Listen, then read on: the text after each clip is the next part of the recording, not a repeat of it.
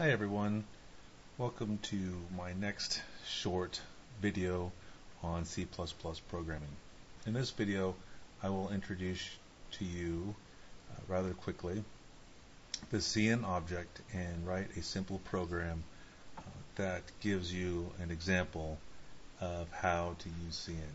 Okay, um, so let's get started. All right, in C++ we have these things that are known as objects.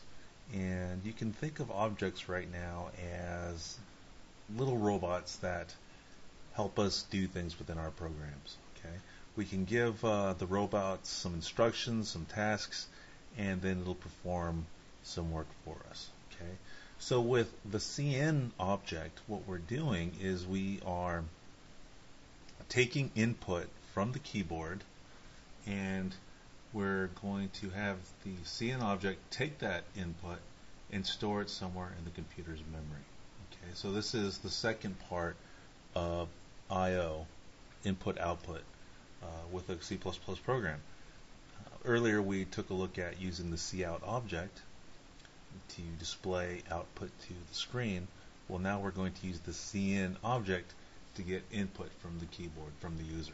Okay, so the way the process generally works is with the cin object is that the user inputs something at the keyboard, okay, and then that uh, input is taken by the cin object and stored somewhere inside the computer's memory.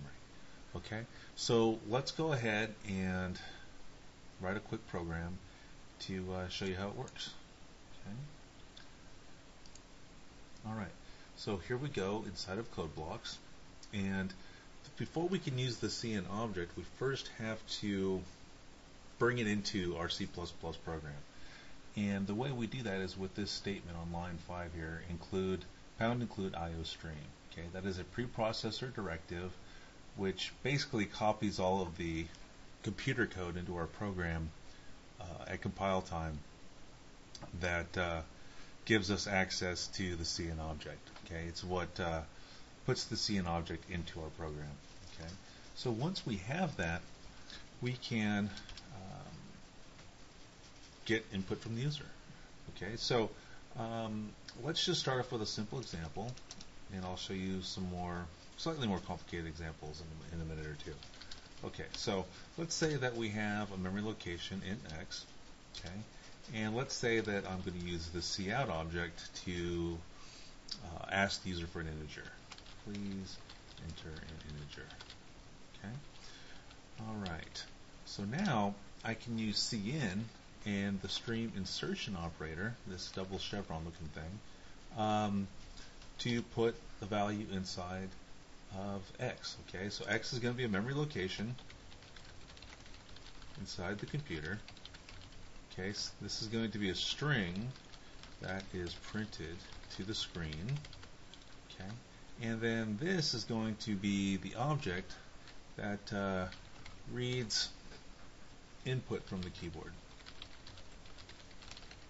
and stores it in X. Okay, so cin is like our R2D2 from uh, the previous graphic, right? The user is going to type in something, R2D2 here, the cin object.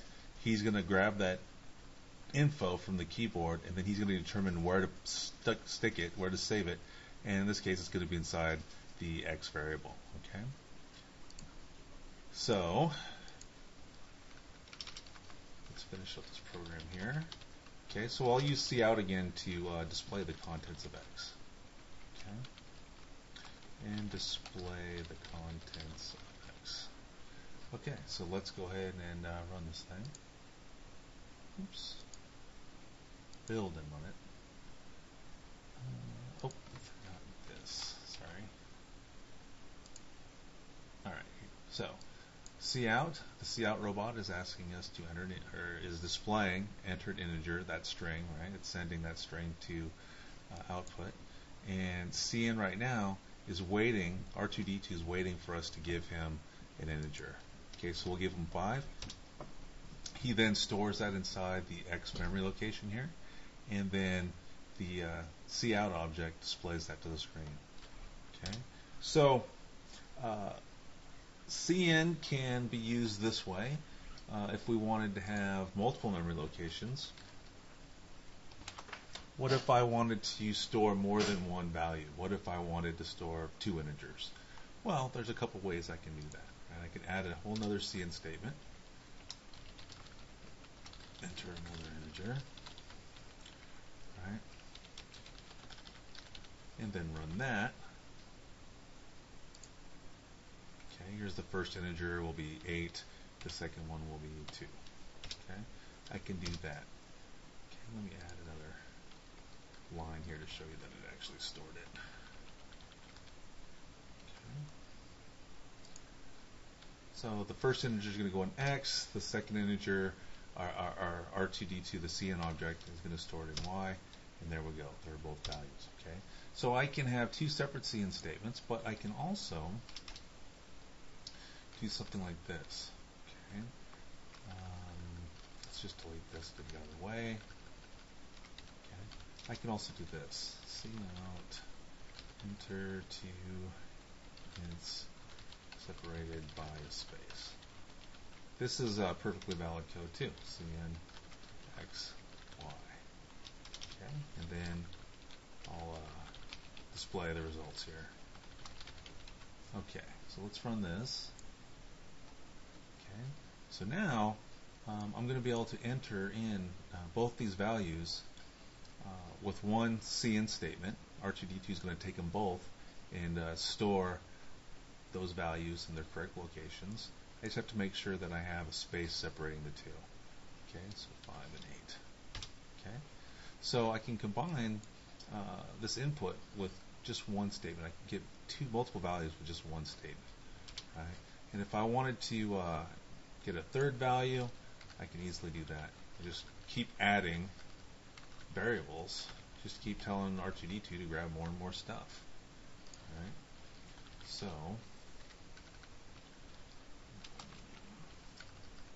let's do this here so you can see it, so you can see the work in action. Okay. In this case, I'm going to do three different numbers separated by spaces. Okay. So there we go. So R2D2 basically, you know, our cin object, uh, he grabbed the three values and then stored them in the correct memory location. Now, what if I wanted to grab different data types? Okay, this will work for integers, floats, characters, uh, strings, whatever. That's totally fine. Uh, what if I wanted to uh, take a double, and what if I wanted to take a character? Okay, well, I can do this. Um, C and D. Okay, I can mix data types in the same cin object. Okay, R2D2 is smart enough when he reads that uh, input from the keyboard, he can determine what the data type is for each value and then store them in their correct locations. Right? So X, Y, and Z are going to have to be integers. Right? C is going to be a character, and D is going to be a double. Okay? So I'm going to actually end up entering in five values.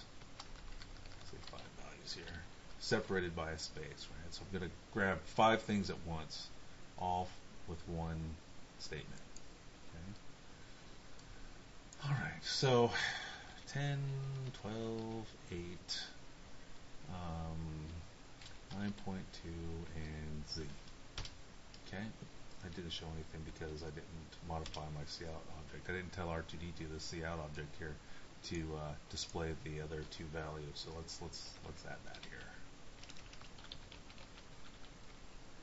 Okay. Oops.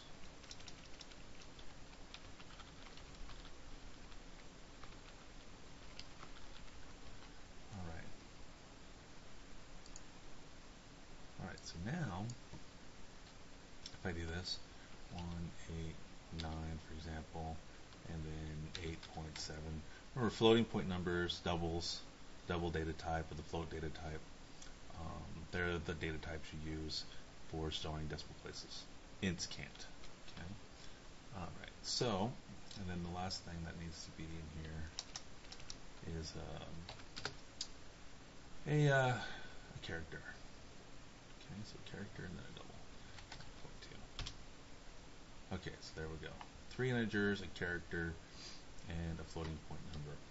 Okay, so uh, it's important that you remember too the differences between uh, the integer data type and a floating point uh, variable data type. Okay, so uh, let's say let's let's let me show you an example of what I mean.